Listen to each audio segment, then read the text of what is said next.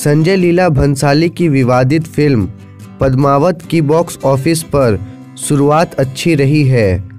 सूत्रों ने बताया कि 24 जनवरी को देश भर में चुनिंदा स्थानों पर भुगतान के बाद प्रीव्यू से 5 करोड़ रुपए की कमाई हुई। वहीं रिलीज़ के पहले दिन कल फ़िल्म ने 19 करोड़ रुपए का कारोबार किया।